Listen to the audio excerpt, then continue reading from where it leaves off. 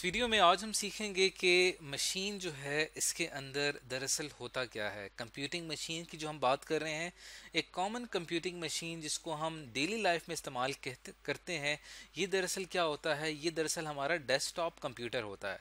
जिससे कि आप इसको देख सकते हैं इस वक्त अपनी स्क्रीन पे, इसे डेस्कटॉप कंप्यूटर कहा जाता है। अब ये एक ऐसी मशीन है जो कि हमारी डेली लाइफ का हिस्सा है। अब हम देखेंगे कि इसके अंदर जो है, वो क्या है और अगर हम इसको ओपन करें तो इसके अंदर हमें कौन कौन से पार्ट्स दिखाई देंगे। यहाँ पे एक बात याद रहे कि इसको सिस्टम यूनिट भी कहते हैं और इसका जो सिस्टम यूनिट है, ये आपके सामने इस वक्त पिक्चर में आपको दिखाई दे रहा है और यहाँ पे हम अगर इस सिस्टम यूनिट की बैक साइड देखें तो हमें इस तरह का एक इमेज नज़र आएगा। अब अगर इसकी बैक साइड के ऊपर गौर करें तो इसकी बैक साइड के ऊपर आपको मुख्तलिफ़ पोर्ट्स नज़र आ रही हैं, जिसपे हम क्या करते हैं कि अपने इनपुट आउटपुट डिवाइसेस कनेक्ट करते हैं। ऐसा कि आपको यहाँ पे एक पोर्ट नज़र आ रही है, ये वाली जो पोर्ट है, ये जो पोर्ट है, यहाँ पे आप अपना स्पीकर या माइक्रोफोन कनेक्ट करते हैं। यहाँ पे कुछ यूएसबी पोर्ट्स आपको नज़र आ रही हैं, जहाँ पे आप अपनी यूएसबी माउस या यूएसबी कीबोर्ड वो आप यहाँ पे इंसर्ट करते हैं। इसी तरह यहाँ पे आपको जो है वो आउटपुट पोर्ट नज़र आ रही है जो कि हमारी एचडीएमआई पोर्ट होती है, ये दरअसल यहाँ पे आप अपनी मोनीटर या एल सी डी वो आप यहाँ पे अपनी कनेक्ट करते हैं। यहाँ पे आप अपनी पावर केबल कनेक्ट करते हैं। तो ये इसका आउटर व्यू है। लेकिन हमने क्या जानना है कि अगर हम इसको यहाँ पे, इसको ओपन करें, इस मशीन को अगर हम ओपन करें तो इसके अंदर हमें क्या व्यू नज़र आएगा? अब ये यहाँ पे इसकी एक एग्जांपल है, ये हमने अपने सिस्टम यूनिट को जैसे ही हम ओपन करते हैं तो हमें इसके बिल्कुल सेंटर में एक बोर्ड नज़र आ रहा है। जैसे कि आप देख सकते हैं यहाँ पे, ये आपको यहाँ पे एक बोर्ड नज़र आ रहा है। ये जो बोर्ड कहलाता है, ये मदर बोर्ड कहलाता है। इसकी डिटेल्स हम एक अलहदा से वीडियो में पढ़ चुके हैं। उसके साथ साथ आपको जो यहाँ पे ये वाला हिस्सा नज़र आ रहा है, इस हिस्से को कहते हैं पावर सप्लाई और ये वाला जो एरिया आपको नज़र आ रहा है, यहाँ पे ये एरिया कहलाता है, इस जगह पे हम क्या करते हैं कि अपना सीरी ड्राइव यहाँ पे कनेक्ट करते हैं। तो ये तीन मेन आपको हिस्से नज़र आएँगे, जब कभी भी आप इसको ओपन करेंगे, एक मदरबोर्ड पावर सप्लाई और सीरी ड्राइव अब इसके अंदर जो इसका मेन हिस्सा है मदरबोर्ड इसको एक्सप्लोर करना बहुत ज़रूरी है। इसके अंदर कौन सी अहम कंपोनेंट्स लगे हुए होते हैं, वो हम समझेंगे। अब जब भी हम सिस्टम यूनिट को ओपन करें तो इसके अंदर हमारे लिए ज़रूरी है कि हमने चार जो उसके हिस्से हैं, इनको आइडेंटिफाई करना बहुत ज़रूरी है। नंबर वन सबसे पहली चीज़ हमने ये देखनी है कि हमारे इस सिस्टम यूनिट के, या इस मशीन के अंदर प्रोसेसिंग कहाँ हो रही है, हमारा डाटा स्टोर कहाँ पे होता है इनपुट डिवाइसेस कहाँ कनेक्ट होती हैं, और आउटपुट डिवाइसेस कहाँ कनेक्ट होती हैं। ये चार चीज़ों को पहचानना एक स्टूडेंट के लिए बहुत ज़रूरी है। अब इसके अंदर जो पहली चीज़ है प्रोसेसिंग इसको समझते हैं कि ये मशीन के अंदर किस हिस्से में होती है।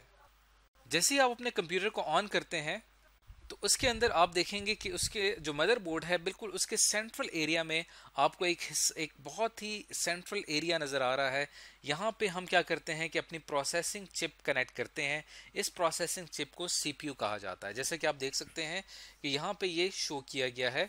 इस जगह पे आप जो है वो कनेक्ट करते हैं अपनी सीपीयू चिप अब इसके साथ जो, अब सीपीयू चिप जब कनेक्ट होती है इसके साथ तो हमारे सामने सीपीयू चिप इस शक्ल में उस जगह के ऊपर हम यहाँ पे कनेक्ट कर देते हैं. अब सीपीयू चिप जो होती है वो बहुत ही एक छोटी सी हमारे हाथ के हथेली के साइज़ के बराबर होती है. इसे इस जगह पे प्लेस कर दिया जाता है इस तरह से। और ये जो हमारा हिस्सा है कंप्यूटर का, ये दरअसल रिस्पॉन्सिबल होता है तमाम कंप्यूटेशन का, तमाम कैलकुलेशन का, तमाम प्रोसेसिंग का, ये वो तमाम काम कर रहा होता है। अब हम बात करते हैं स्टोरेज की। हमारा जितना भी डिजिटल डाटा है, वो कंप्यूटर में कहाँ जाके स्टोर होता है? हमारे मदरबोर्ड पे आपको इस तरह की एक एक चिप नज़र आएगी। ये दरअसल रैंडम एक्सेस मेमोरी या इसे हम रैम कहते हैं या हम सिंपल वर्ड्स में इसे जो है वो मेमोरी कहते हैं। ये रैंडम एक्सेस मेमोरी है, इसको हम डिटेल से एक अलहदा से वीडियो में पढ़ चुके हैं। यहाँ पे हमारा डाटा इनिशियली इस चिप में आके स्टोर होता है और फिर यहाँ से वो सीपीयू तक पहुँचता है। और इसी तरह अगर हम अपने डाटा को परमानेंटली स्टोर करना चाहें तो हमारे पास एक डिवाइस आती है जिसको हम कहते हैं हार्ड डिस्क जैसे कि आप इस वक्त पिक्चर में देख सकते हैं, ये जो हार्ड डिस्क है, ये दरअसल कनेक्ट कर दी जाती है हमारे इस मेन मदरबोर्ड के साथ और यहाँ पे इसको प्लेस कर दिया जाता है। और यहाँ पे जो हमारा डाटा होता है वो परमानेंटली स्टोर होता है। और इसके अलावा एक और मदरबोर्ड के ऊपर आपको एक और चिप नज़र आएगी इसको हम रीड ऑनली मेमोरी कहते हैं। कंप्यूटर को स्टार्ट करने के लिए ये चिप बहुत इंपॉर्टेंट होती है, क्योंकि इसके अंदर एक बहुत ही इंपॉर्टेंट हमारी एक जो इसके अंदर हमारा बहुत इंपॉर्टेंट डाटा होता है जिसको हम कहते हैं BIOS basic input output system. ये जो बायोस फ़ाइल होती है, ये इस रोम के अंदर स्टोर होती है जो कि ऑपरेटिंग सिस्टम को लोड करने में हमें मदद करती है। जब कभी भी आपने अपने कंप्यूटर में विंडोज़ इंस्टॉल करनी हो तो ऑपरेटिंग सिस्टम जो है वो इस फ़ाइल के ज़रिए लोड होता है रैम में। अगर ये मौजूद नहीं होगी तो आप कभी भी अपने कंप्यूटर में विंडोज़ इंस्टॉल नहीं कर सकते। तो ये कुछ इंपॉर्टेंट कंपोनेंट्स हैं मशीन के अंदर जो कि आज हमने स्टडी किए हैं। तो हमने यहाँ पे ये सीखा कि कंप्यूटर के अंदर प्रोसेसिंग कहाँ, किस पार्ट में हो रही होती है, कंप्यूटर अपना डाटा कहाँ पे स्टोर करता है, ये दोनों चीज़ें हमने सीखी। अब जो दो चीज़ें रह गई हैं, वो हैं इनपुट कनेक्टर्स और आउटपुट कनेक्टर्स वो हम यहाँ पे देख सकते हैं कि जो हमारा सिस्टम यूनिट है, इसकी जो बैक साइड है, इसकी बैक साइड पर अगर आप देखें तो यहाँ पर आपको मुख्तलिफ़ पोर्ट्स नज़र आ रही हैं। ये पोर्ट्स इस्तेमाल होती हैं हमारे इनपुट डिवाइस को कनेक्ट करने के लिए। जैसा कि यहाँ पर आपको ये पोर्ट नज़र आ रही है, यहाँ पर आप क्या करते हैं, यहाँ पर आप अपना माइक्रोफोन या स्पीकर कनेक्ट करते हैं तो माइक्रोफोन जो है वो हमारी क्या है, वो हमारी इनपुट डिवाइसेस के ज़रिए हम अपनी साउंड कंप्यूटर तक भेज सकते हैं।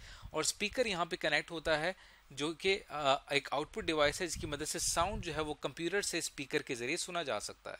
इसी तरह हमारे माउस कीबोर्ड यहाँ पे कनेक्ट होते हैं। इसके अलावा जो हमारी आउटपुट डिवाइस है, वो भी दरअसल इन्हीं यहाँ पे जो एक पोर्ट आपको नज़र आ रही है ब्लू कलर की, यहाँ पे हमारी जो मोनीटर डिवाइस है, वो यहाँ पे कनेक्ट होती है।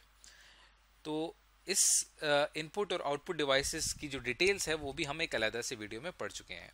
तो आज की इस वीडियो में हमने ये देखा कि हम अगर अपने इस सिस्टम यूनिट को ओपन करें, इसको अगर हम खोलें तो इसके अंदर हमें कौन कौन से अहम हिस्से नज़र आते हैं और उनका क्या काम होता है।